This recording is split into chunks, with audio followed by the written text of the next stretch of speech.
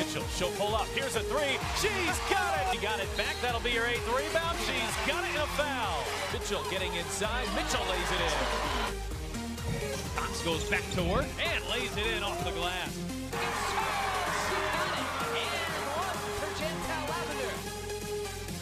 Vivian spots free, and Vivian knocks it down. What an effort by Danielle Robinson. There you go, Big T.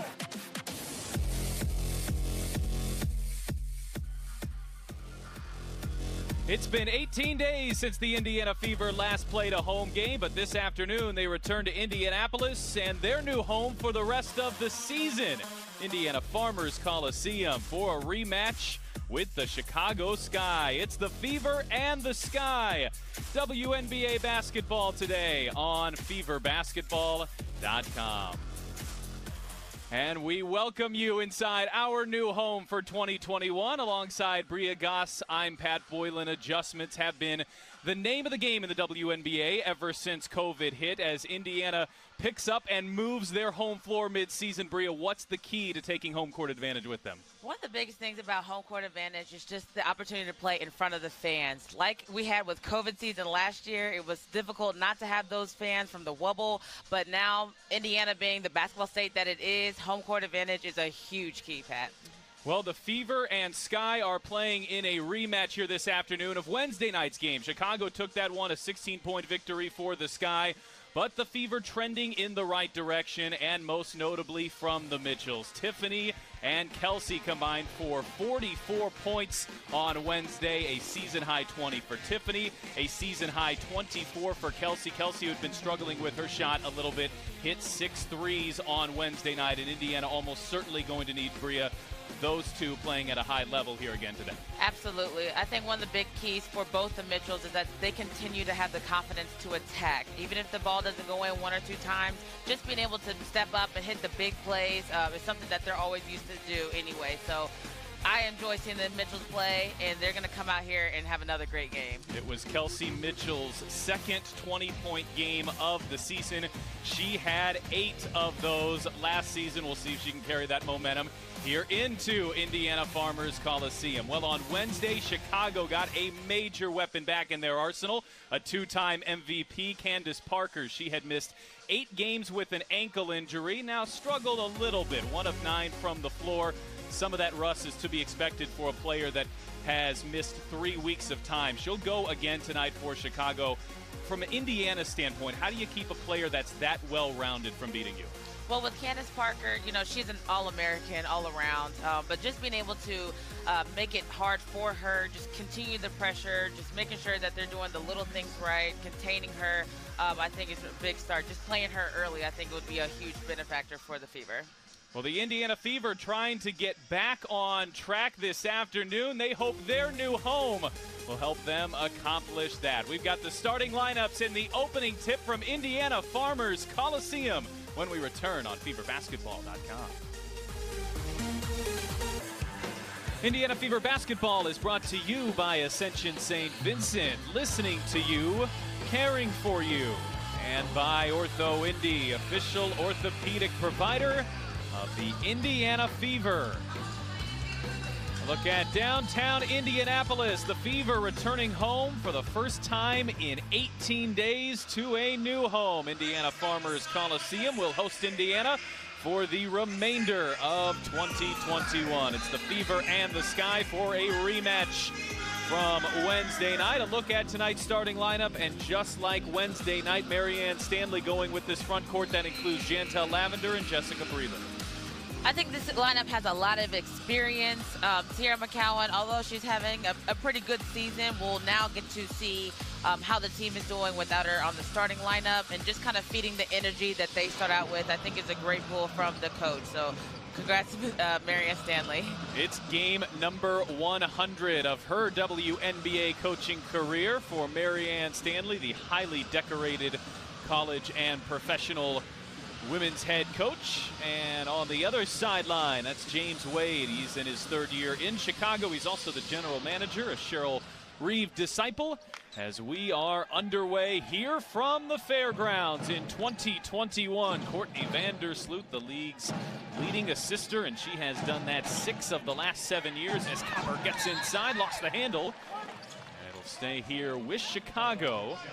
Indiana looking for better starts. They trailed by double digits in the first quarter in four of those five games on the road trip.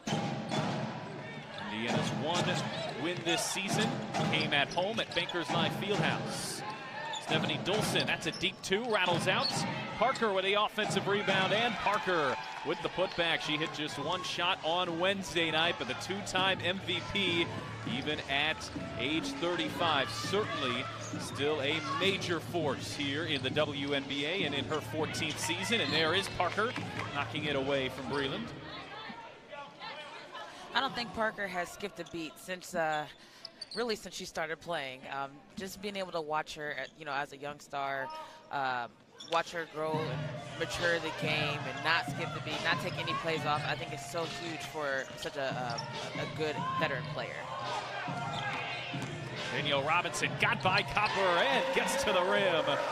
Danielle Robinson leads second leading stealer. She also is 17th in assists. Robinson had just five points on Wednesday.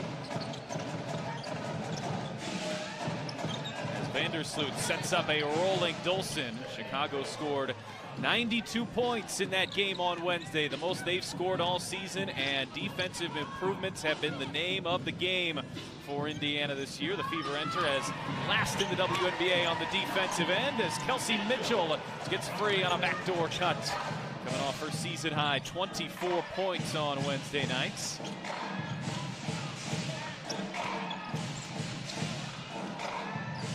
And Candace Parker delivers a three on the other end. So an early five points for Parker, who had just three in the first matchup between these two teams, was a little rusty after missing eight games, but looks back in prime form here to play in game number three as Mitchell off target for Indiana. So far, the defensive intensity uh, is you want to be able to start the game at such a high level, especially with a team uh, like Chicago. Just kind of put your foot down and make a statement. And, and I think that will just kind of continue to feel the offense as well. That's a blocking foul on Diamond DeShields. She goes down holding the back of her head, which unfortunately for her is a familiar sight. She went down in the fourth quarter on Wednesday in Chicago and was holding that neck, head, back area. She did not return in that game. Ingrid said she is okay, but already has taken a fall here. The second of two straights between the Fever and the Sky. Indiana has eight of these series this year. That's the most in the WNBA. Mitchell got her pass deflected by Parker. And they'll call a foul there as well.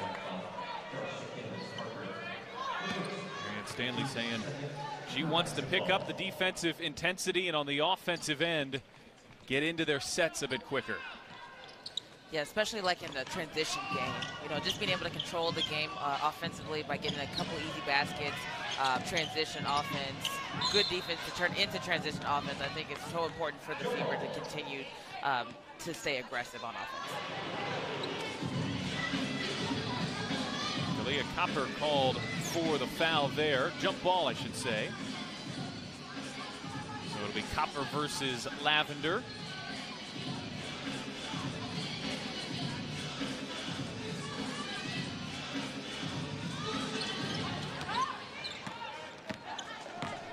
Chicago Sky enter this afternoon at 3 and 7 on the season as Parker continues on the attack.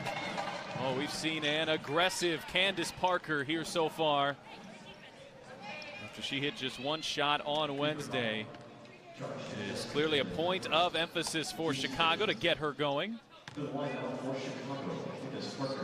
What a great, great hesitation, uh, an explosive move by, by Parker. Fever have to, you know, make sure they understand where the ball is at, get back on defense, but being able to stop a player and stop a player early, kind of get in her head, give her some some problems, um, and no easy bucket for for Candace is going to be huge for the Fever to continue to play the game. Candace Parker, by the way, just one assist behind Teresa Weatherspoon for 12th all-time in league history. She's going to go down a lot like Tamika Catchings in the top 10 of four, five, six different categories in WNBA history. Both Tennessee Volunteers and two of the most well-rounded players this league has ever seen. Lavender gets the switch on to Vandersloot, turns her shoulder, can't get that one to go. Breland pulls down the offensive rebound for Indiana. Breland on the shot fake, driving at Parker, and couldn't get the roll. Oh, Breland, though, she came in and poked it away. Tiffany Mitchell snatches it and knocks down the jump shots. Mitchell with 20 points on Wednesday night, a season high, and now there's two steals for Breland on back-to-back -back possessions. She's just all over the place, Pat. You know, she got the offensive rebound, the steal, and another steal. That's the energy, and the type of intensity that the Fever need to play with. Mitchell bounces for Tiffany. Scoop shot won't fall. Leah Copper, one of the league's most dynamic wings, such a great slasher. So too is Diamond DeShields.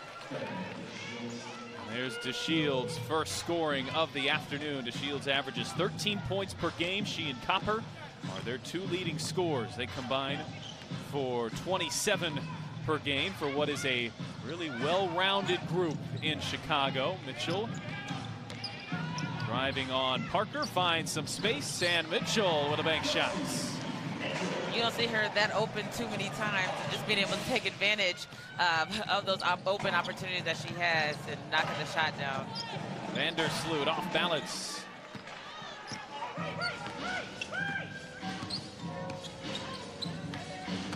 Here's Robinson. Gets inside, couldn't finish on the reverse.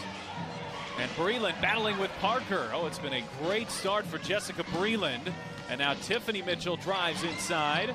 Working on Dolson, fades, fires, and gets the roll. That was a great offensive possession. Uh, just being able to stay on top of the ball. Get, you know, do the little things right. It's 6-0 run for the Indiana Fever. Chicago will take a timeout. The Sky leading it by one here in the first from the fairground.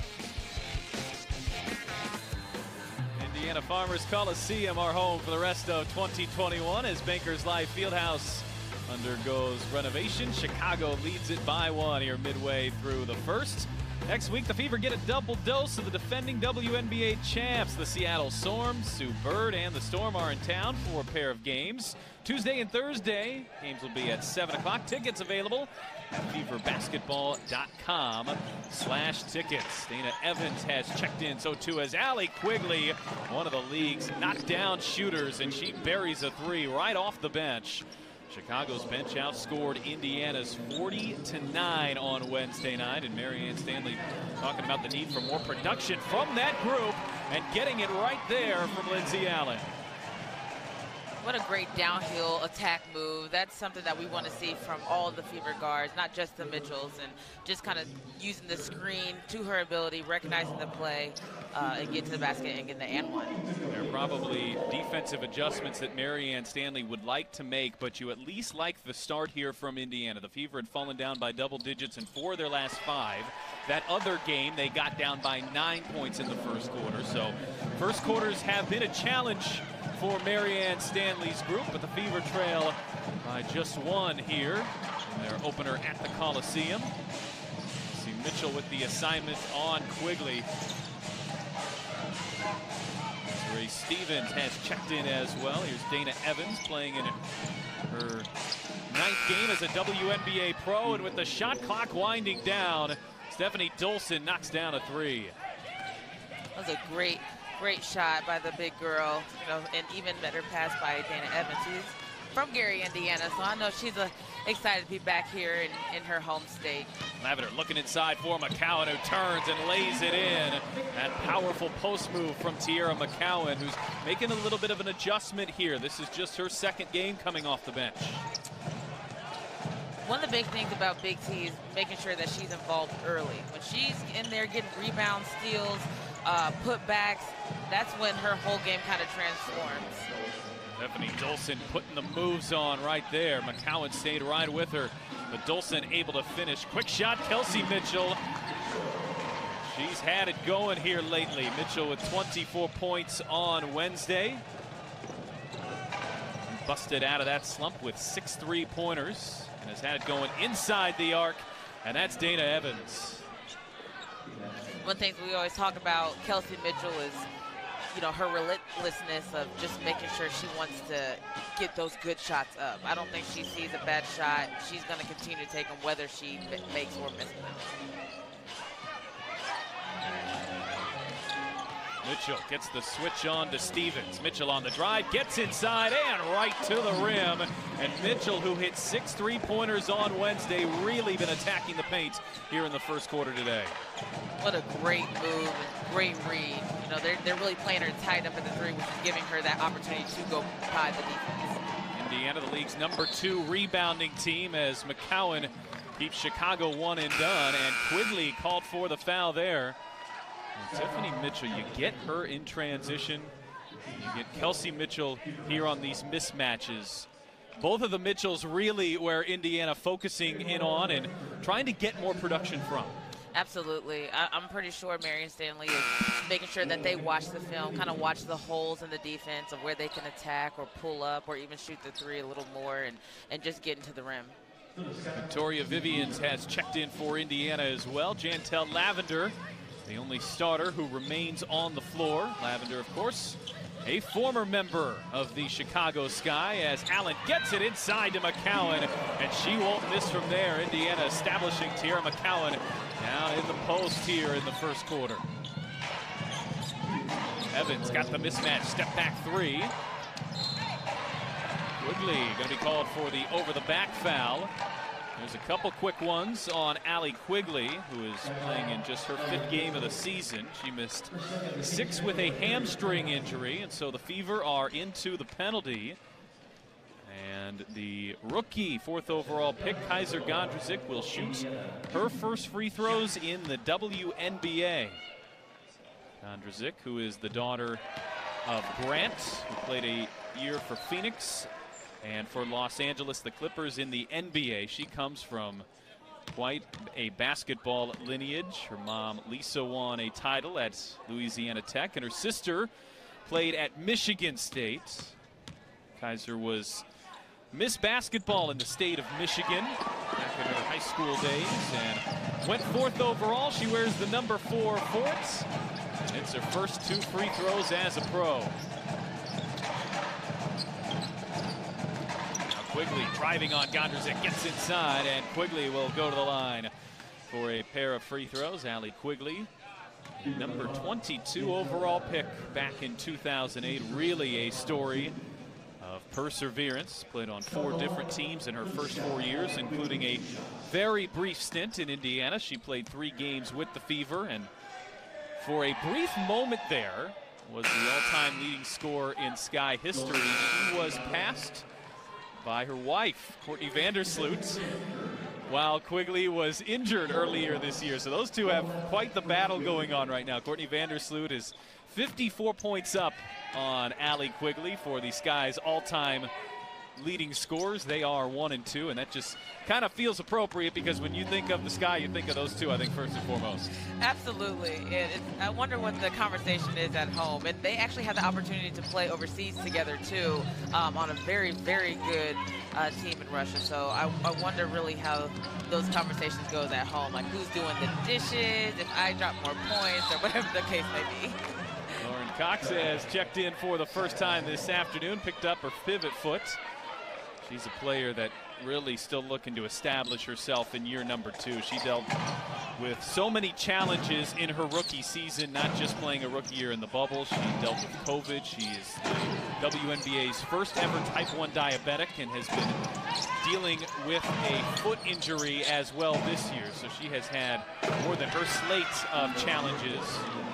The Fever give up another three-pointer, and that's really been an area where Marianne Stanley wants to improve on. Chicago has hit five of their six from out there in the first quarter. Indiana has yet to attempt a three as they go back inside, and McCowan gets the position on Dolson. What a pass. I think she saw that pass early. Uh, Teaira McCowan was working down there the whole possession, and she was a few steps out of that three-point line and still was able to make that pass. That was a, a great pass. Evans cut off there by Gondrezick, and they will say there was contact as well. A couple of rookies going at it. Here is that pass you're talking about. What a finish, too. I don't want to uh, downplay McCowan's energy down there, but that was a great use of her body to get the get the bucket. Six points in four minutes for Teaira McCowan, who's coming off the bench here for her second game this season. She started the first 10 of the year. Dana Evans, who started her career in Dallas and was a part of, was really kind of an awkward trade. Shyla Heal, who had only been in Chicago for a couple of weeks, was sent to Dallas and then ultimately waived the eighth overall pick.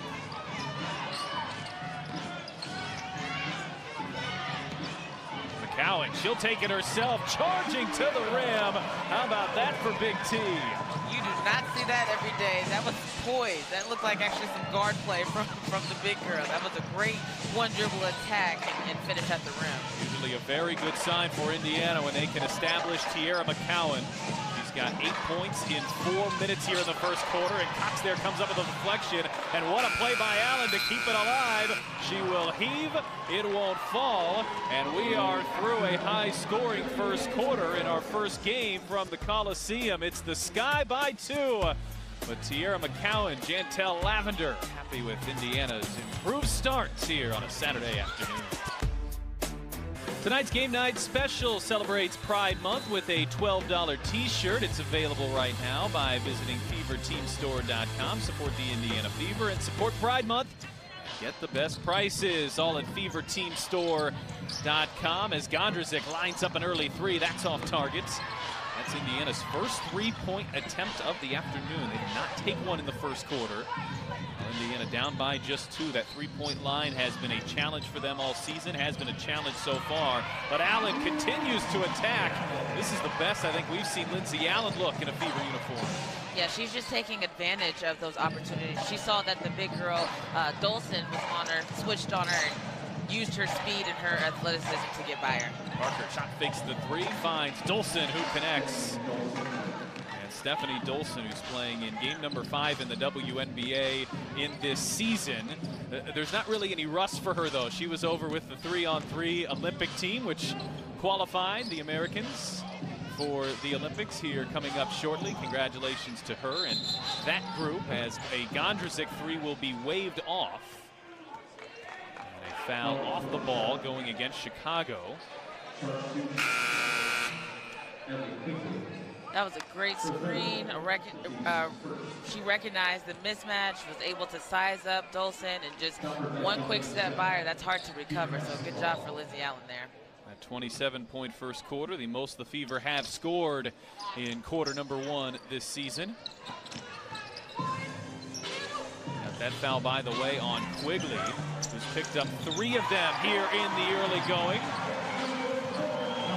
Lauren Cox, who scored just four points this season, but when she's at her best, can extend that range out to the three-point line. Showing it right there as the Fever take a second quarter lead, and Copper on the attack on the other end will go right back to the line. When Indiana drafted Lauren Cox, it was things like this that they anticipated her being able to provide the big girl out of Baylor. I know I remember seeing her hit uh, a lot of those threes from the from the stripe, and just being able to have that confidence to uh, do it here for the Indiana Fever this season. I think it's going to be huge for her game, and just to keep on expanding.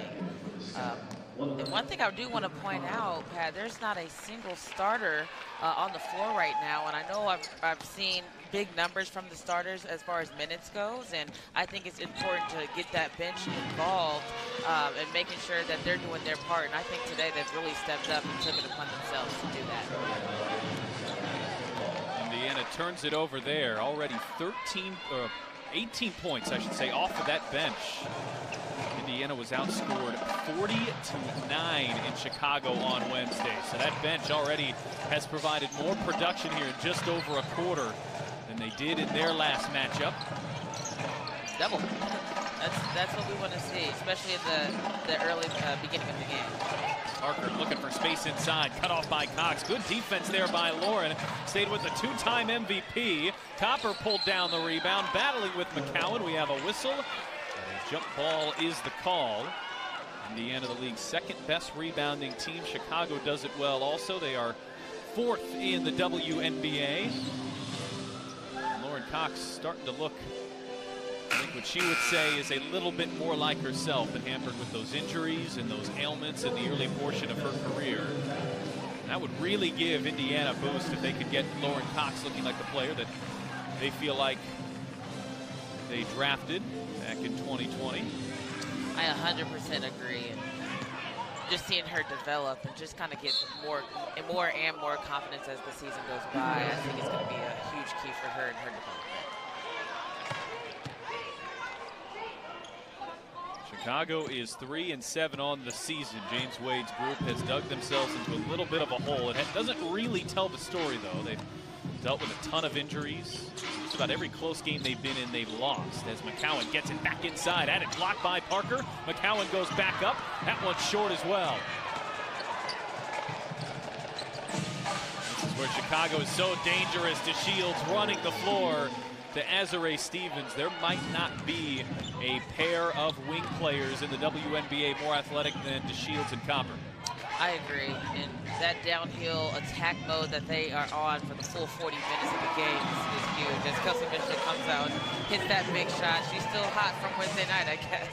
Indiana has sorely needed big production from Kelsey Mitchell. She was sixth in the league in scoring last year. Got off to a really tough start shooting the ball. Not right away. She played pretty well in Indiana's first few games as Shields gets inside off balance shots. As the Fever went on that road trip, Mitchell went ice cold. But played well against Chicago. Maybe her best game of the season on Wednesday. Hit six three-pointers. As the Bigs looking to play catch underneath. Breland can't hook up with McCowan. And especially this Fever team, which has been shorthanded from the three-point line. Indiana has been outscored from the perimeter in every single game so far this season. There's a lot of pressure on Kelsey Mitchell to deliver.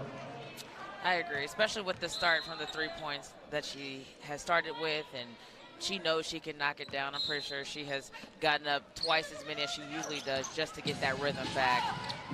Breland on the drive. That shot too long. Got the offensive rebound and drew the foul. That is already the fifth offensive rebound for Indiana here this afternoon.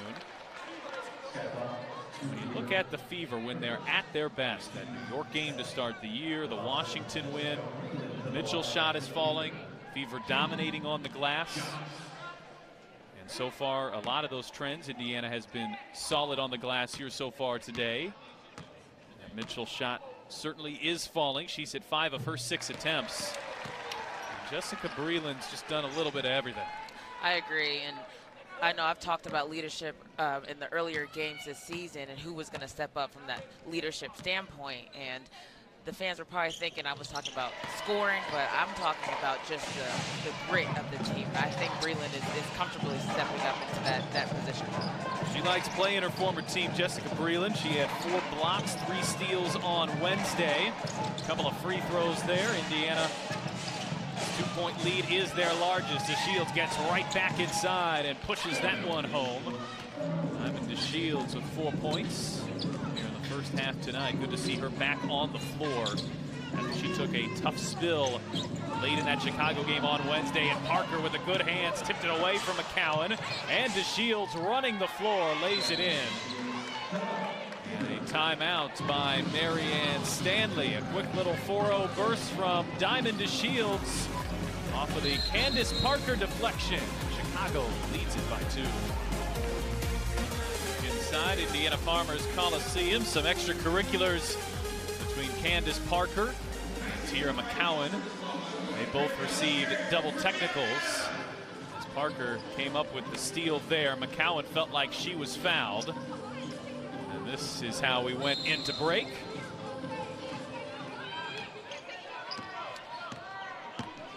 pretty intense, if you ask me. Um, and I know Candace is uh, uh, just an all-out competitor. Um, and so anything, especially from a younger player, you know, she was going to hold her ground there. Lindsay Allen with five points and three assists already here in the first half. Breland faces up and knocks it down right over Hebard. Jessica Breland really starting to come into her own here in a Fever uniform. Four points, four rebounds, an assist, a block, two steals. She's done all that in seven minutes. Anderson tries to free herself from Allen. Here's Parker. She hits a three, and Chicago has been red hot from the perimeter here this afternoon. They've hit six of their seven. A couple already for Parker, who enters double digits.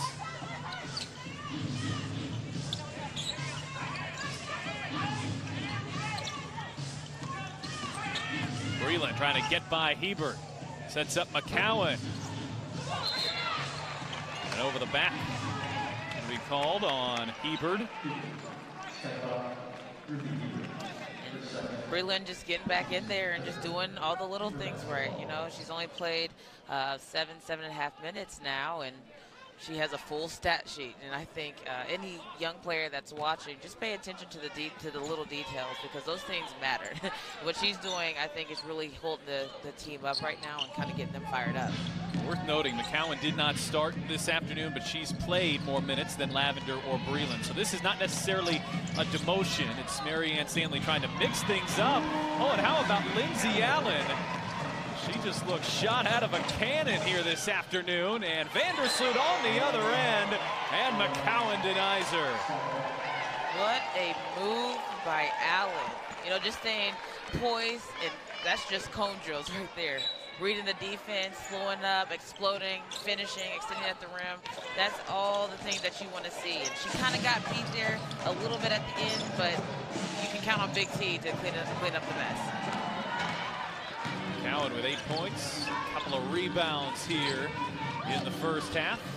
Marianne Stanley has transitioned her with that second unit. Breland battling with Hebard. Good hands by Hebard. Somehow Breland kept away with it. And now Breland going to be charged with the offensive foul. Got that elbow up. Tell you what, Candace Parker is really fuming. Diamond DeShields took an elbow to the neck. And this is just Breland battling. And she gets DeShields up high. Certainly no ill intent there. Right. I think just the the size difference kind of got her a little bit on the on the neck there. But really, DeShields is kind of taking the the back end of all these uh, hard fouls here. Vandersloot bounces. Dolson had it blocked again.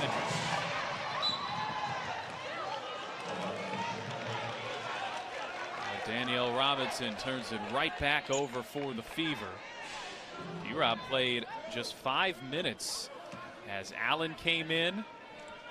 And that bench was playing so well. Marianne Stanley giving that second unit a little bit more run than she has in previous games. In fact, Allen played just five minutes on Wednesday, 10 minutes already this afternoon. I think that's so important.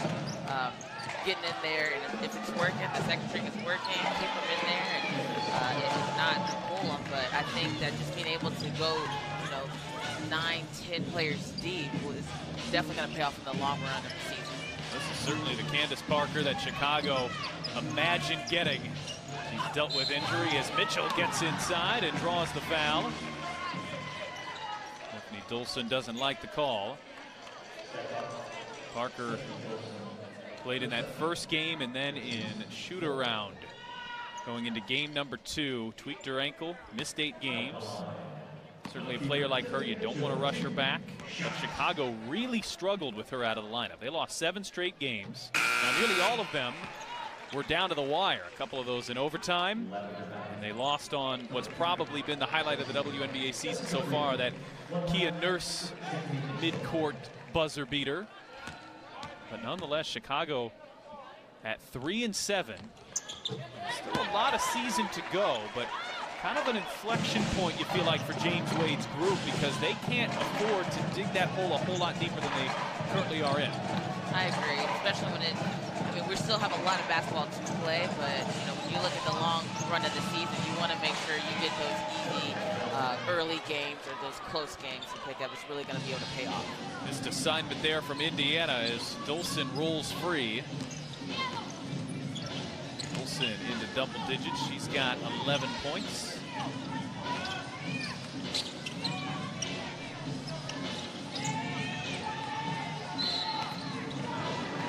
Parker called for the foul. You can see she sees opportunities, Candace, when McCowan has the ball to try to tip that away from her, come up with a steal. Yeah, I think this is actually, you know, to go back on when they were a little uh, into it a little bit uh, a few minutes ago, that was kind of a similar play there, and this time they were able to, to call it. Now she's able to go to the line and shoot, too. Candace didn't like the call, but nice shot there from our group was clear contact. Send McCowan to the line. She misses her first. McCowan, a 68% free throw shooter. Fourth in the league in rebounding. 11th in blocks, already done. Plenty of that here so far today. Splits the two free throws. In a competitive one here as Indiana has returned home. Neither team has led by more than five. Anderson leaves it for Dolson, juggling with it. Dolson able to save it. Nice play, but DeShields gives it right back. Mitchell is fouled. And this is where Chicago has gotten themselves into a little bit of trouble. As Indiana goes back into the penalty, place where they spent a lot of that first quarter in. And Tiffany Mitchell will be shooting free throws when we return, looking to tie things up from Indiana Farmers Coliseum.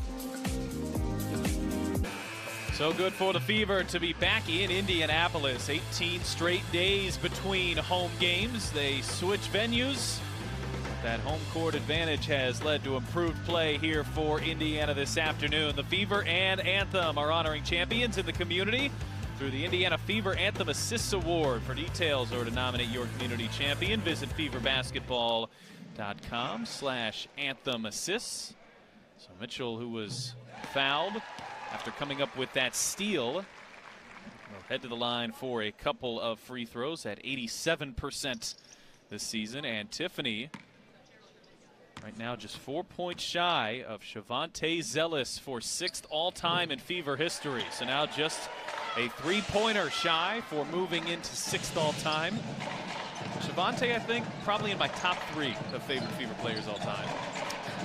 And you know what? She's an even better person. It's so funny because I feel like I said that about a lot of the Fever players, but just the character of these girls. I was had the opportunity to um, not only meet, but I played against her when I was in Israel my second year, and she is just an absolute great competitor. All around, just great. So I, I, I miss her here at the Fever. I'm not gonna lie.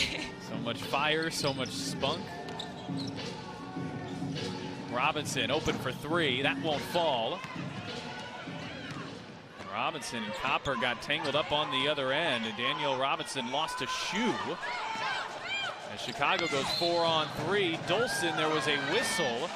I think that whistle was off the ball, and right now, Tim Green has said it came before the shot, I believe. That three-point problem for Indiana remains intact. Chicago has taken eight threes, made seven of them. And yeah, you see the foul there coming before the shot. And I think that was a, a smart play, a smart foul. Uh, Robinson lost the shoe, so they were down a few numbers. So just to get him before the shot goes, I think that was a smart play. There's another foul as Dolson rolling to the rim, and we'll see if they call this in the act of shooting. Indiana still had a couple of fouls to give.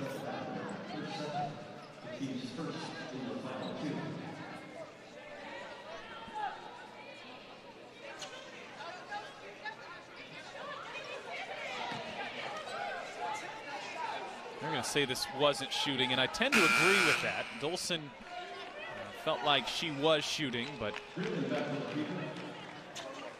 looked like there was no clear upward motion. She tried to come down with that rebound. It almost would have had to have been like a, a volleyball kind of tap.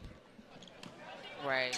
It, I think they're arguing that it was a, a tip in, but that could have very easily just been a grab from the rebound and just kind of hit on the way down.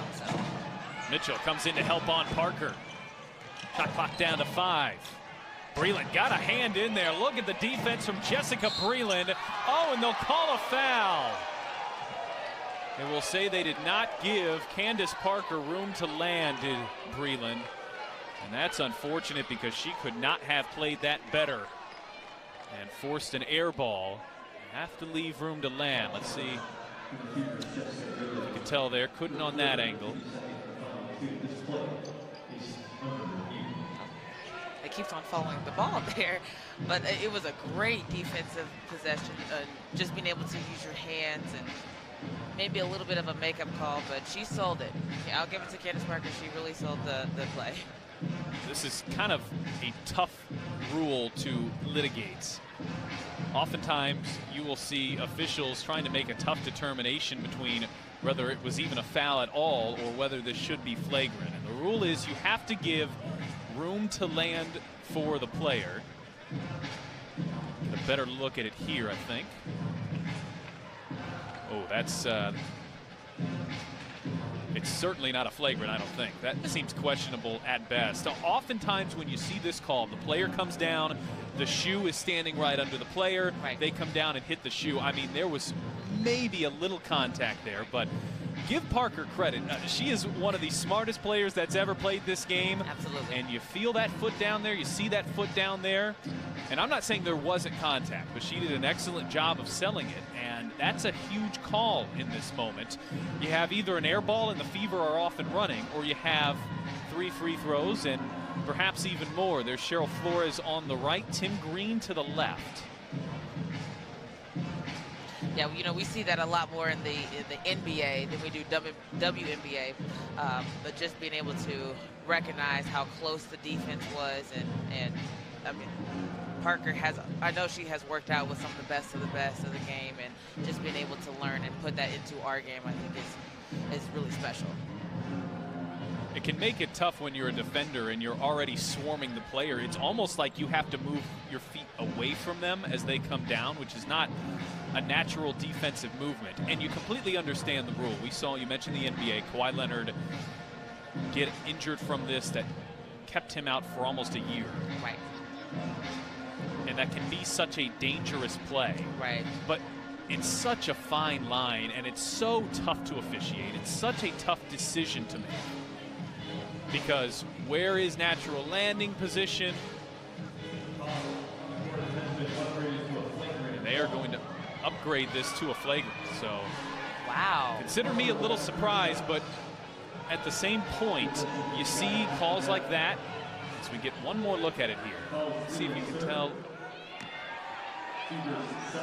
A flagrant. I don't even think she knew that Candace fell, let alone uh, intentionally try to make her fall. So, you know, I, I, I know I, especially as a player, always give the officials a hard time during the games, but I know they try to do their best and, and try to make the best of their, their, their game, their situation. Well, and that's what I mean by the middle ground there. Right. It was tough to see in that angle, but I think there's a possibility that she didn't even make contact with Bree. So you've got such a small margin of error that's going to decide three free throws and the ball versus an air ball and the Fever are out and running. I mean, that is a massive, massive call. Right. And you can see why Breland's upset. And you need to protect the player. You see, you know, when players get their elbows up more often than not, that goes to player safety. But that's one of those that's right on that fine line. And Tough whistle there for the Fever. Chicago now all of a sudden has their largest lead, and Dolson's open in the corner. Indiana has not defended the perimeter well here this afternoon. Chicago 7 of 9 from out there.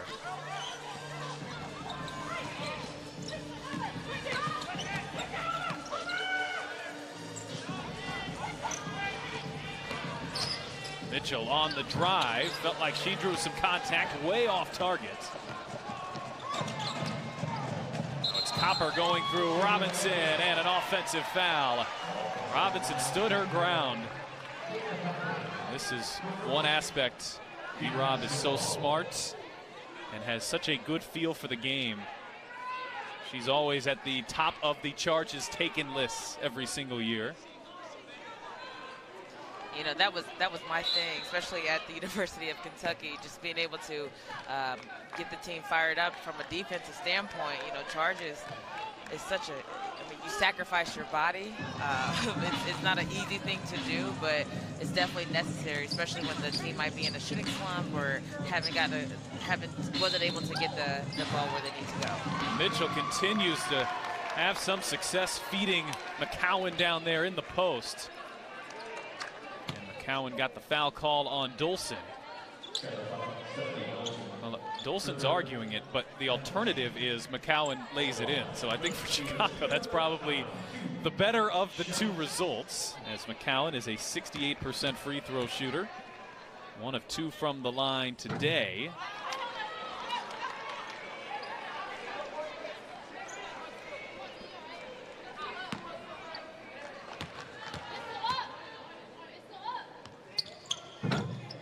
Comes up empty on that trip. Kind of a streaky year for her. She really struggled in the early going from the foul line. But got those percentages right back to where she's used to them. Parker has the mismatch onto Vivians. Backdoor cut. That's Copper. And Copper will go to the line for a couple of free throws. She couldn't finish inside.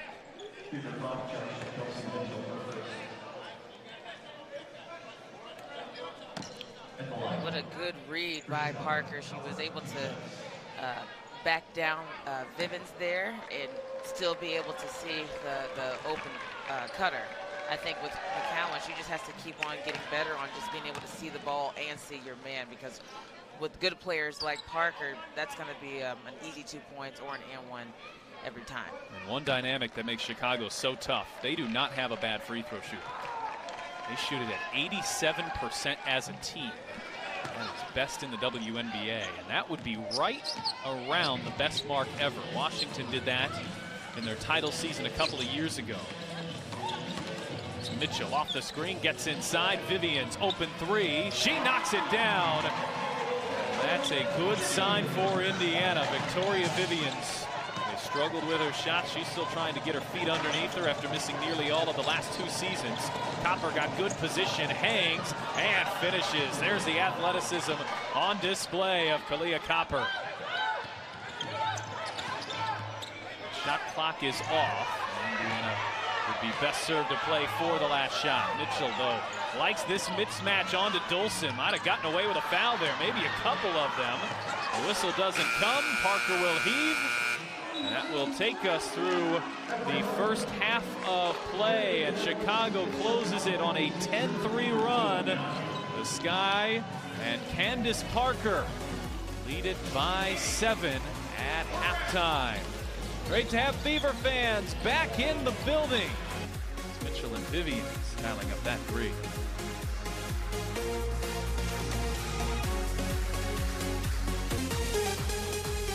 Mitchell, she'll pull up. Here's a three. She's got it. She got it back. That'll be her eighth rebound. She's got it in a foul. Vivian spots free, and Vivian knocks it down. What an effort by Danielle Robinson. There you go, Big T.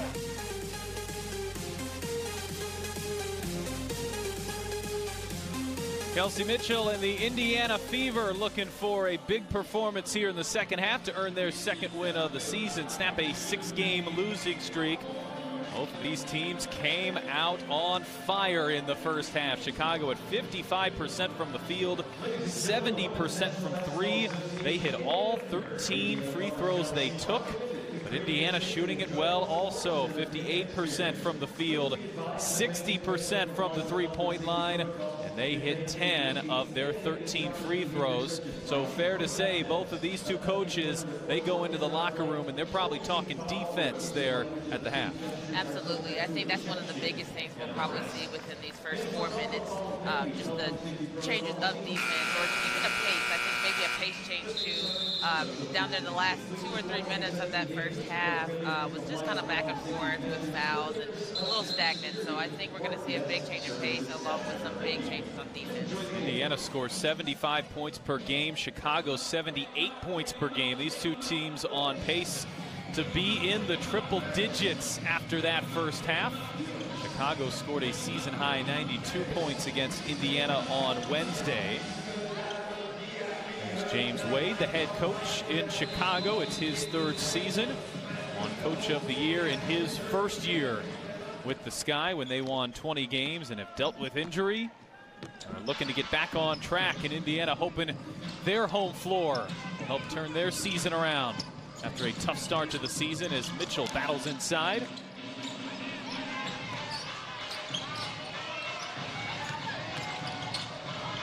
Mitchell finds Robinson, who steps into a two. Good luck for Danielle Robinson. Just couldn't get that shot to go. D-Rob at two points. One rebound in the first half as Vandersloot attacks on the other end. That was a great offensive possession, even though they did miss the shot. But just being able to come back and, and even though they didn't get the two points, we don't want easy baskets like that to to really humble us.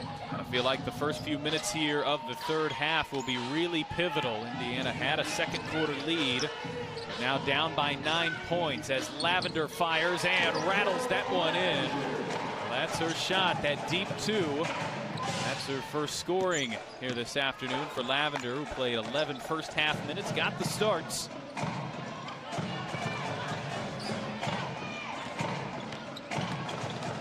Shields attacking downhill. And Lavender called with the blocking foul.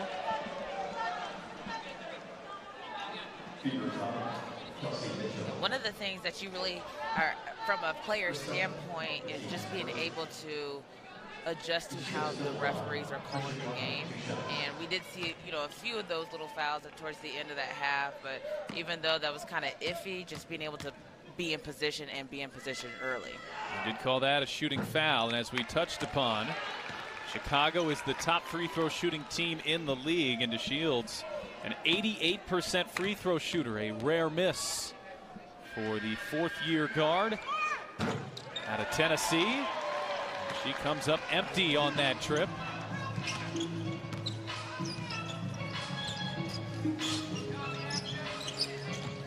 Mitchell with 11 in the first half got tangled up with Vandersloot and draws the foul. And Mitchell comes up holding that right knee.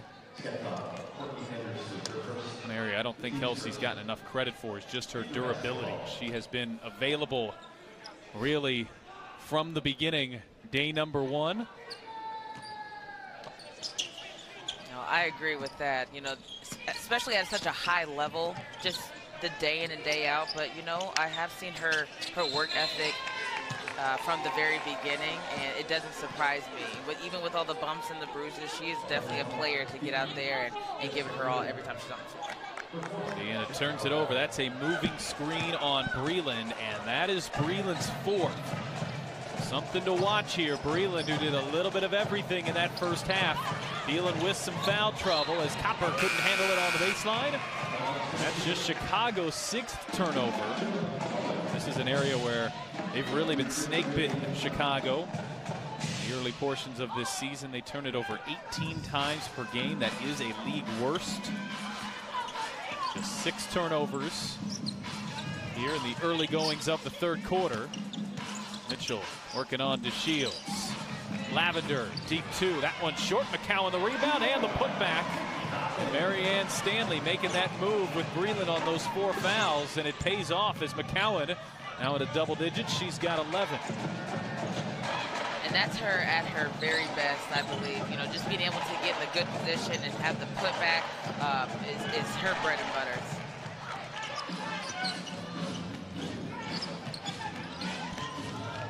Tiffany Mitchell runs into Dolson. Tough angle. It was defended well. Copper, it leads to a bucket on the other end. Those are the kind of decisions that Marianne Stanley wants to clean up. It wasn't a turnover, but it kind of felt like a turnover. Yeah, those are the plays where, when it comes to decision making, um, just being able to know and recognize who's down there, when to push the ball, when to attack, um, and she comes right back. And that is a shot that she she can make, but just being able to control the pace on just a couple of these bad shots being able to get back. Well, I think DeShield thought she heard footsteps from McCowan because she had an unabated trip to the rim, but just left that layup short. Here is that Mitchell attempt underneath. And Dolson played her well, got her underneath the hoop. That'll go as a missed shot, but look like a turnover. Danielle Robinson will head to the line for Indiana. 10th year guard out of Oklahoma. Is the league's top free throw shooter, but she needed every bit of the rim there to keep that mantle. Indiana will check Kysre Gondrezick back in, and Tiffany Mitchell will come out.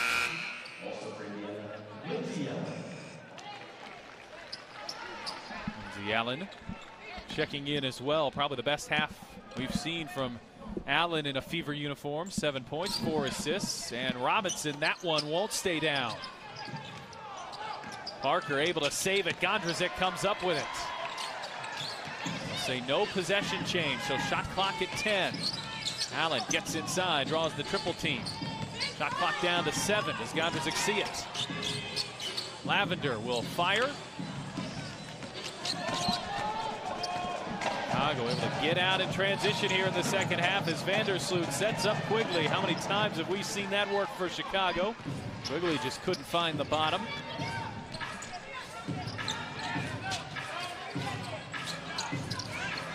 Wilson down there face guarding McCowan, and McCowan couldn't handle it as Vandersloot came over to help. That was a great defensive rotation from uh, from the sky. Quigley on the drive. Defended well by McCowan.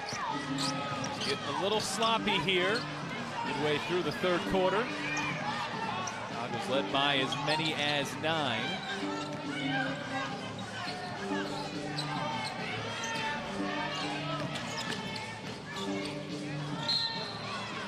Copper called for the foul. On that first half, both offenses really got everywhere they wanted on the floor, and you can tell these two teams spent a lot of time talking about the defensive end as Indiana kind of struggled to get to their spots here in the second half. Yeah, I agree, and I don't know if they realized that uh, Quigley was still down there um, arguing her case and didn't take advantage of the 5-on-4 situation. Robinson, tough angle. Wilson has defended the guards well, but Chicago trying to get back in transition, and Gondrezick took it away. Gondrezick to Robinson, who instead will reset. Mitchell not on the floor right now for Indiana as McCowan gathers it in and finishes on the other side of the rim. And none other than Allen making that pass once again. I think uh, that's just been her bread and butter this whole game and just finding the bigs underneath. Parker open for three. That won't fall. Maybe Marianne Stanley has found something here with that Allen and McCowan duo. Sometimes it takes just a little tinkering to find some chemistry. Allen McCowan, I like that. Parker this time got in on Lavender, comes up with the steal. Parker behind the back, lost the handle. And what is the call here?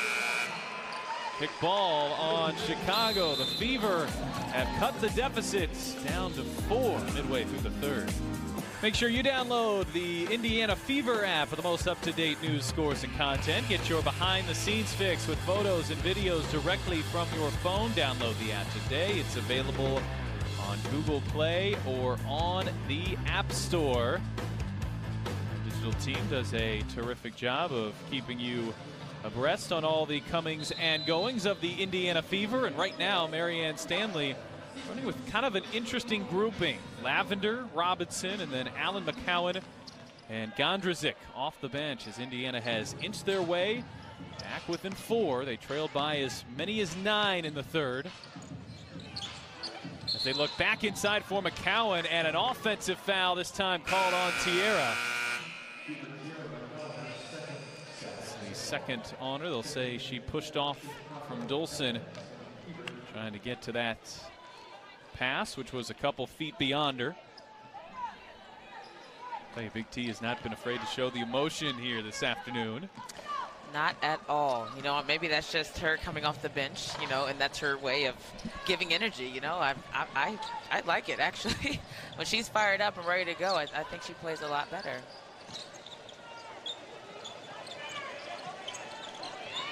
Evans being hounded by Robinson.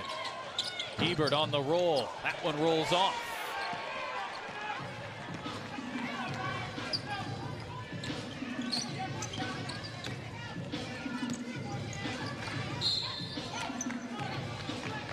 And off the ball foul. We'll go against Hebard. That's Hebard's third. I know one thing about this game is it is physical, you know, and just being able to uh, stay poised and make sure that every time you get the opportunity to get the ball, be strong with the ball. I think that's going to be huge for Fever. These two teams scored nearly at will in the first half. The third quarter is 7 to 4 advantage Indiana. They get Lavender on the moving screen. Well, these two halves couldn't feel more different. I agree. Marianne Stanley and her staff, Steve Smith, Jared Simpson, Vicky Hall, done a nice job covering on the defensive end. They're giving up a 56-point first half. Evans with a shot clock down to five, driving on Robinson. Tough shot, it won't go. It's the sixth rebound for Teaira McCowan.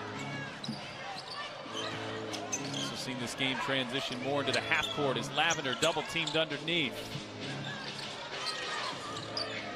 Gondrezick will line up a three. That's way off target.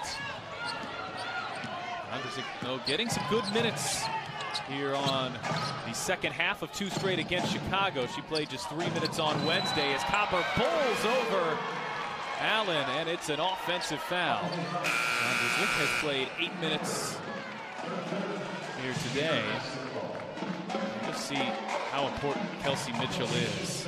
Those lineups on the floor with Allen and D-Rob, there's just not a ton of shooting. Yeah, I agree, and especially being able to create. The last possession, though, I think they did a really good job of getting it into Lavender, and you could see the Storm just swarmed in there, leaving shooters out there, but they just weren't able to, to even put it up. Mitchell is back in along with Jessica Breland. Nursing those four fouls. Something to watch the rest of the way on the former Sky forward. Breland spent four years in Chicago. Shot clock down to four. Gondrezick will fire from the other side. McCowan the rebound, the putback, and a foul. Way to be in the right place at the right time. But, you know, that that's her bread and butter. Just being able to get those high balls and, and put them right back in with the and one. That was a great shot. Um, unfortunately, didn't fall, but I know I have more confidence knowing that our big girls are down there to clean up the mess if I don't make it. So McCowan can bring Indiana within one here from the foul line. She will calmly knock down the free throw. Chicago's gone four and a half minutes without scoring. A 56-point first half, a four-point third quarter. We talked earlier about how the defensive intensity was the thing that needed to change uh, in this half. As that was a great shot. That was it was good defense, but that was a really nice shot. Quigley thought there was a foul and was trying to get a trip to the free throw line and hit the shot anyway.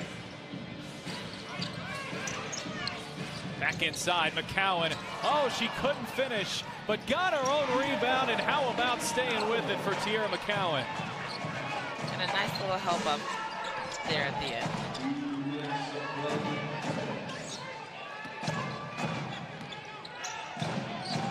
Evans inside. Hebard draws the foul.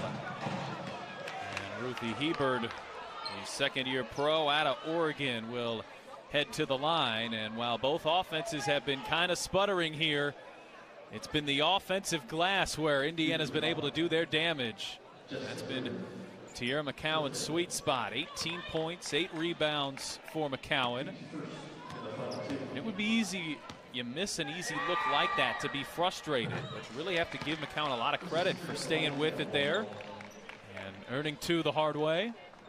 You really do, and we have seen her, you know, miss little bunnies, which is a natural part of the game. Everybody does it, but you know, we've seen her, you know, hang her head or be upset or come down. She might not be as aggressive on defense, and I haven't seen any of that from McCowan today. That was the fifth foul on Jessica Breland. She's picked up five in 13 minutes. So Marianne Stanley has to check her back out. And Lauren Cox will come in. Cox had a nice four minute stretch there in the first half.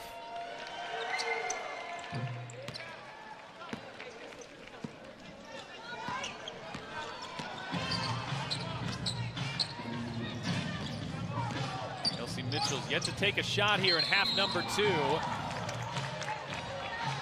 Say Cox was held on the roll there. That was a big call because Chicago had set sail for the other end. But once again, Indiana getting into the penalty, getting to the free throw line. Chicago's taken 17, Indiana's taken 16. So not necessarily been an advantage there for Indiana, but they've gotten themselves into the penalty in each of the first three quarters. Lauren Cox, a 73% free throw shooter, had been held scoreless in three straight games before this one. But a five-point afternoon, and she's done that in four minutes. Indiana closes back within a point. I think it's so important for every player to do their part, whether that be on offense, on defense, and Lauren Cox is really showing her part today. Stevens had it blocked there by Cox. She kept saying, I don't feel 100%. I don't feel like I have my normal quickness. And that's starting to show here as see Cox get a little quicker, a little bit more agile. And look, defense has always been her calling card, the two-time defensive player of the year in the Big 12. They got Gondrezick there on the foul, fighting through that screen. And now Chicago is into the penalty, and they will send Ali Quigley to the free throw line. Oh,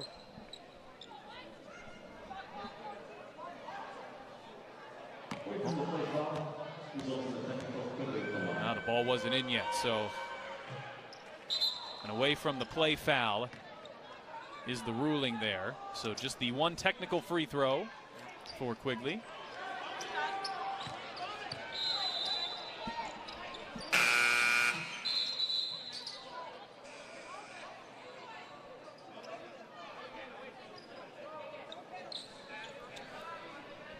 Fever really need to stay with this intensity on defense. They called her for the foul early, but I, I, like the deny.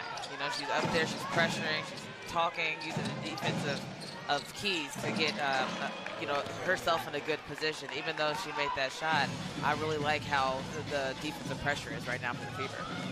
Three-point possession there for Allie Quigley gives Chicago a little bit of breathing room as Mitchell turns the corner, gets inside, and had that deflected. Good defense from DeShields. Kelsey Mitchell still has not taken a shot here in the second half. DeShields goes right at Mitchell, who took it right back. And now Gondrezick running the floor. Gondrezick couldn't finish. Mitchell straightaway three, book it. Think that's her favorite spot on the floor. She knew that was going in before it even let go. That was a, a great offensive rebound, a great attack, a great offensive rebound to lead to the open shot. Evans step back on Cox. Evans leaves it short.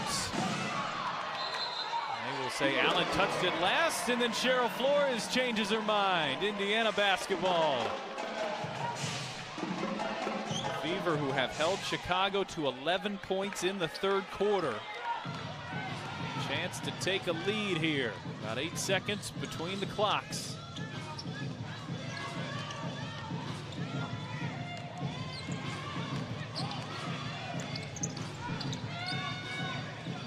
Cox shot fakes the three. Shot clock down to five. Allen steps into a three.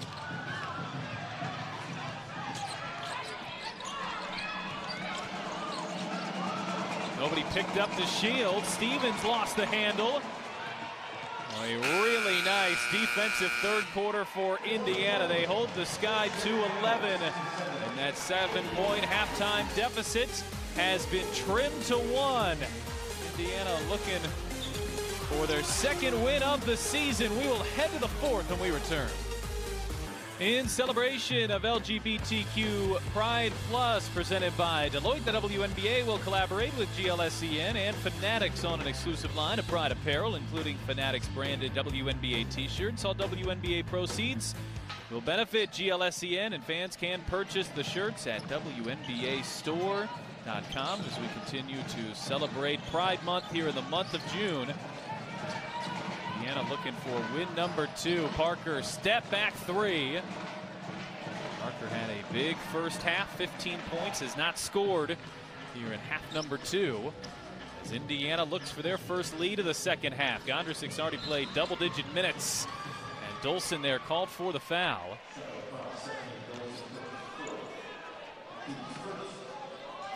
That is the fourth foul on Dolson. Breland on the bench right now with five.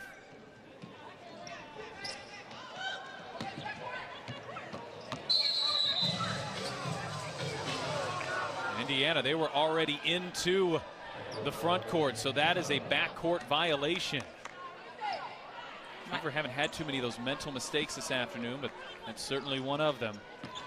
Yeah, a little little rookie mistake. You know, in college, you're able to, no matter what side of the ball, you know, you're on, you can still throw it over half court. But once you come to those pros, it's one of the big rule. What a great pass by the rookie, as I'm talking about her. Yeah, she makes up for it and gets the steal. Good ball movements. and Cox puts the Fever in front. Cox gets the assignment of Parker. Not an easy task. Parker backing in up top. Dolson has to be a big confidence booster for Lauren Cox. She's come out and played the best of her season so far to date. A lot of pressure in the backcourt by Chicago. Allen backing in on Vandersloot, puts on the moves. Vandersloot stayed with her, and Allen hit it anyway. Great defense, even better offense. You know, she was looked like she was uh, didn't know exactly what to do, but just being able to create for herself and, and just kind of free herself up there. That was that was a great shot. Vandersloot on the other end turns the corner, draws the foul, and can tie it at the free throw line here. As Lavender will check in for Lauren Cox. What a great use of the body just from the vet. You know, she's probably seen that uh, game and game in and game out, just being able to use her body and kind of contort her way in a position to use the glass. Chicago really dialing up the pressure here in the fourth quarter. You see that full court pressure on. Allen able to get it in bounds and break it down. Gondrezick, tough shots. Touched that last, will stay with Indiana. Gondrezick is 0 of 5 from the floor, but she has three steals. And it's just that eye test. You're kind of looking for her, and I think she's certainly passing it despite the fact that her shot isn't falling. She's she's getting some good looks, and I think she should continue to uh, to stay aggressive on offense. Allen, tough look again, and this time she draws a foul. Lindsay Allen really had it all going here this afternoon. 9.6 assists. 19 minutes. Allen averages just three points and two assists per game. She's had Vandersloot all over her, but hit that earlier shot, draws the foul here. And Allen, a 73% free throw shooter, will go to the line. Allen has really just been the name of this game today with her intensity on offense and defense and being able to find the open person um, as she knocks down this free throw here.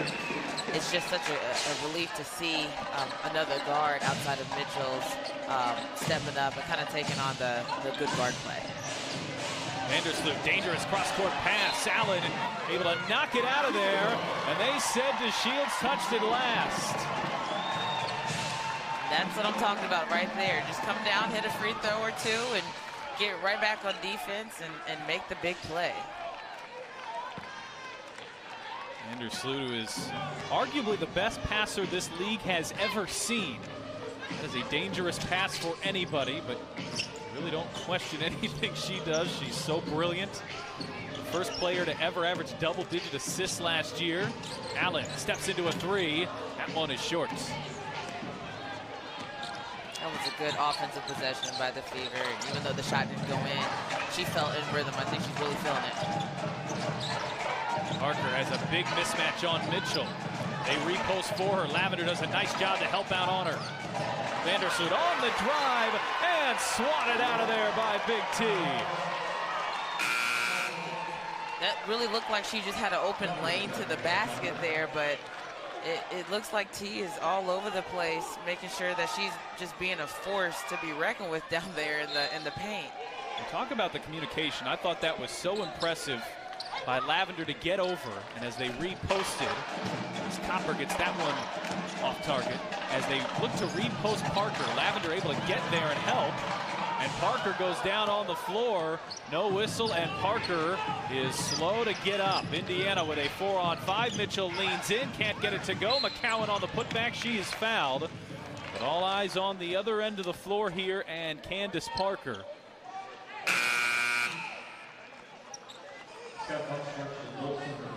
Here's a look at what happened.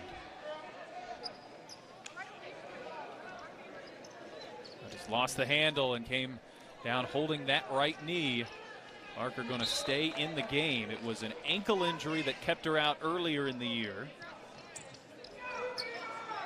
Looked like she slipped a little bit uh, as she was turning, uh, did the behind the back move. Just kind of foot just slipped on the, the floor there.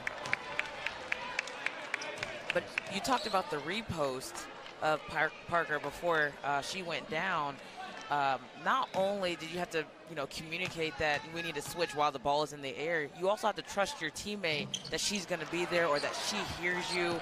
It's a lot of things going on in that play where it's that's just the the chemistry of the of the Fever team tonight. Cowan, as brilliant as she's been, has left some points at the charity stripe. Just two of seven from the free throw line. Copper fires. Lavender. Oh, she's going to be called for the foul here. I tell you, we are not on the floor like we typically are, but in live action, I thought that looked pretty clean. I agree. Lavender just trying to box. It looks like Dolson kind of had her arm there a little bit, and now she's coming up you know, she just got the short end of that stick. Parker on the drive, and they'll get Lavender here for back-to-back -back fouls. So now five on Lavender, five on Breland. Fever play big as it is. They've got Teaira McCowan on the floor, so it's not like they are going to be short on bigs. But you do lose your options to be creative if you're Marianne Stanley as you deal with foul trouble here.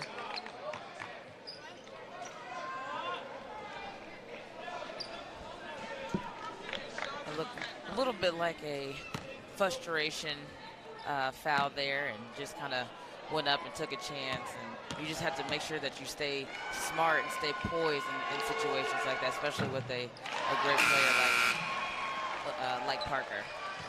That's her first missed free throw. Chicago at 85% now. Parker with 15 points, 12 rebounds, 4 assists. She has filled up the stat sheets her third game as a member of her hometown Chicago Sky. She splits the pair and pulls us even.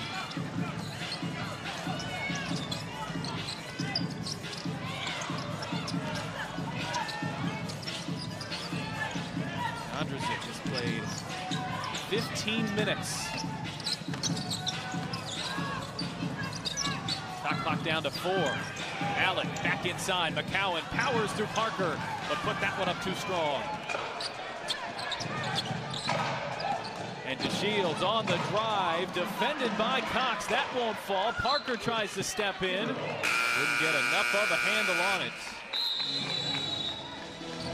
We are even at 71 between the Fever and the Sky. Teaira McCowan with a double-double. It's come off the bench this afternoon. 18 points, 10 rebounds. This is the version of McCowan that when Indiana gets her, they have a completely different dynamic on both sides of the floor. I agree, and just being able to find her early or get her involved early or get some easy putbacks early, I really think that just defines the rest of the game for, for her. Just one starter on the floor right now for Indiana. It's Kelsey Mitchell as Breland and Jantel Lavender dealing with some foul trouble. Mitchell fires. She hit her previous two from three-point range. Mitchell has 14 points. Had DeShields on her for a lot of tonight. DeShields currently on the bench. Parker backing in on Cox, sees the double team. Copper straightaway three. It's the fourth offensive rebound for Chicago. Parker couldn't handle it. They'll now turn it over for the 16th time. That is 11 second half turnovers on the sky in a quarter and a half. And we talked about that that fever pressure and just kind of getting up and getting some deflections or kind of making it tough for the guards to see. And that's what we want to see from the fever. Mitchell trying to pick her spot. Allen with a shot clock down to five. Copper is on her. Allen on the drive, pulls up. Tough look, and Allen knocks it down. Lindsay Allen with a 12-point afternoon, hitting tough shot after tough shots. Yeah, she's really feeling it. And you can just tell by, by her stroke. Every time she gets the ball, she's on attack mode, uh, and she's just going in there and, and putting it in. Sky will keep it. You're going to need some ice baths after this one for McCowan, Dolson, Parker. This has been quite the physical battle in the post. That's another dynamic that McCowan brings you, though, that physicality. And it just makes life difficult for the other team. I agree 100% because just being able to be that type of caliber player, she's already taken up space in the paint, offensively and defensively. Uh, it, it's tiring to box her out every single time. You know, it's tiring trying to score over her or or defend her. So it's just been uh, so good to see her her um, take up the space that she is. Candace Parker nearly had a three-point play. That one just rolled out on her. Parker will go right back to the free throw line and a chance to tie this game. Parker is six of seven from the free throw line. A career 75% shooter.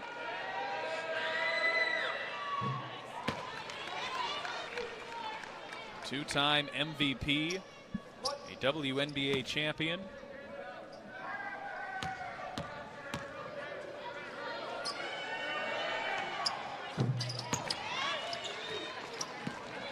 Parker's four assists have moved her into 12th all-time WNBA assists. What an honor, you know, just at such a high level, being able to have multiple categories and, and uh, be a top 20, top 16, and all of them. That's that's just an honor.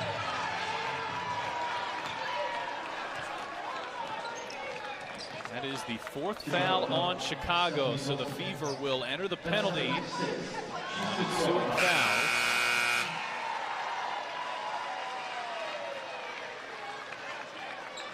Indiana, by the way, has lost nine straight when they've been trailing heading into the fourth. A chance to break that skid here with a strong final four minutes. Gondrezick bouncing. McCowan, offensive foul.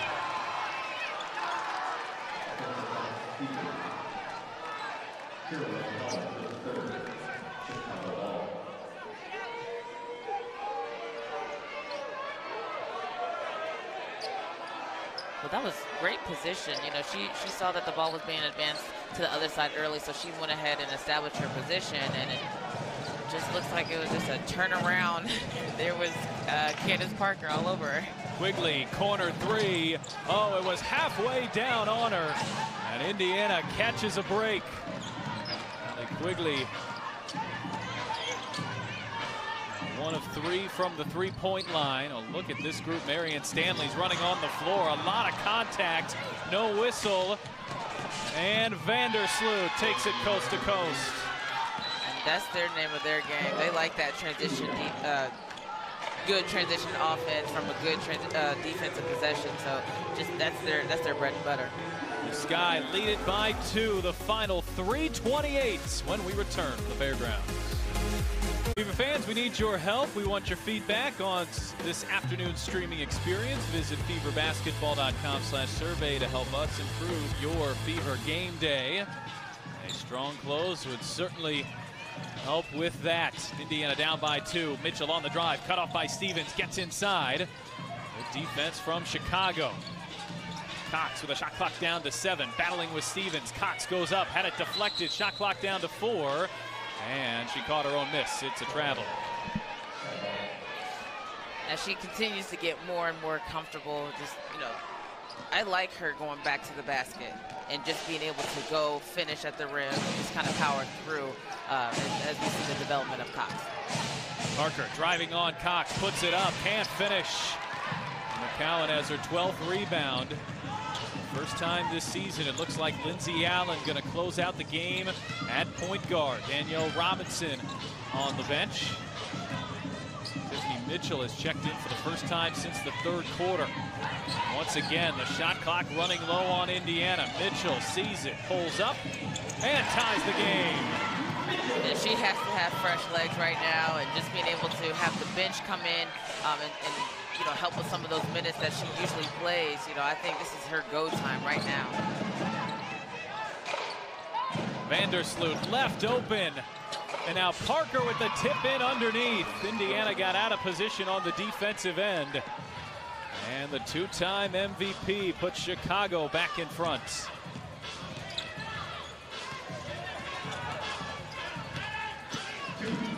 Mitchell, tough look, hits it anyway. It's a deep two for Mitchell, and they want to immediately look at this. This is power that they have given the WNBA officials to do is they can immediately look if this is a two or a three and not wait for the next dead ball. And I think that's such a good move by the league because whatever they determine here is so pivotal to potentially the sky strategy. And that certainly was a two. That should take but eight seconds. And it does. Indiana, they've hit some, their guards have hit some tough shots here in the second half. Yeah, I, I love it. I, I, really, especially with the season that they've had with just struggling offensively with their shooting, just coming out here and, you know, our new home for, for right now and just being able to set a statement here.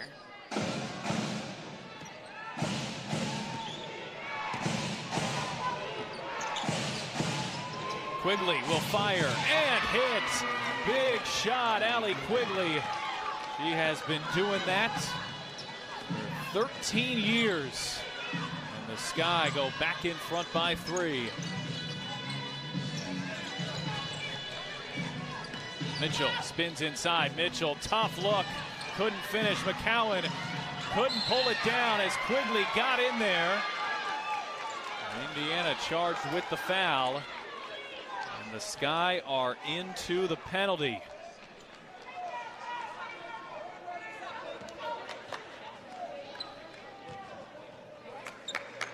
That was a good attack by Mitchell and trying to make something happen and just those loose ball fouls, you know, those are the calls that you don't like to see happen because you are being so aggressive. Uh, but unfortunately, that's just how the game goes sometimes. Quigley miss keeps it a one possession game.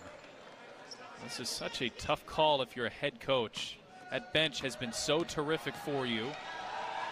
42 points from Indiana's bench, which scored just nine on Wednesday. But now you've got a little bit of a different cast and crew that you typically close the game with. Yeah, every possession counts right now. Just being able to move the ball, have a good possession, and kind of transfer that onto to defense. Breland looking inside. McCowan hauls it in and lays it in. Great big to big pass finish there that high-low is something that I know that they drill over and over, especially with the with a big player like Big T, and just being able to feel comfortable to make that pass. That was a great pass by Breland. Vandersloot gets the switch to Breland. Copper inside Parker. Shot clock down to three. Quigley on the drive, off balance. Oh, she hit a tough shot. Allie Quigley delivering for the Sky in the final two minutes. Tough shot after tough shot. I know she's been in this situation plenty of times before, just being able to have that confidence. Cowan couldn't finish on the other end. And now the Sky with a four-point lead. With 36 seconds left.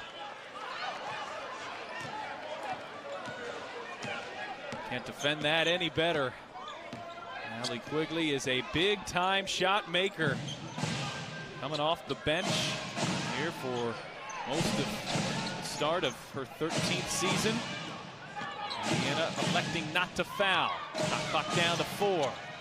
Parker on the drive, the left hand leaves the bank shot shorts. Now Indiana has to hurry, and they turn it over. Stevens comes up with the steal, and Chicago will be able to dribble this one out.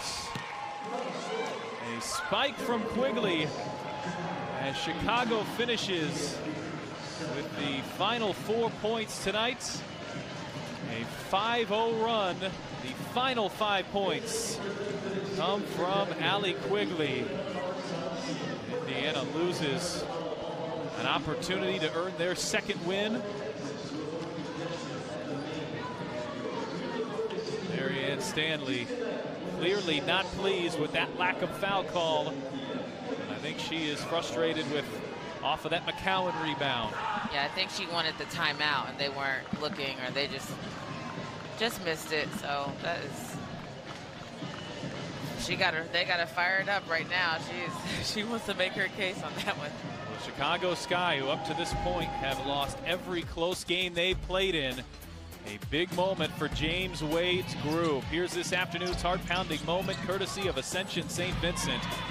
What a game it was from Lindsay Allen. The hesitation on Courtney Vandersloot. Ascension St. Vincent, heart-pounding moments as the Chicago Sky come away with their fourth win, executing late here from Indy. Indiana Fever Basketball is brought to you by Ascension St. Vincent, listening to you, caring for you. And by Ortho Indy, official orthopedic provider of the Indiana Fever. The final score this afternoon, 83 to 79. The Fever return to action Tuesday night at 7 for the first of two straight against the defending WNBA champs, the Seattle Storm. We'll have coverage for you streaming live on Facebook and feverbasketball.com. Tickets, though, are available at feverbasketball.com slash tickets. For director Jamie Burns, producer Matt Scott, for Bria Goss and our entire crew, I'm Pat Boylan. Thanks for watching. We will talk to you on Tuesday.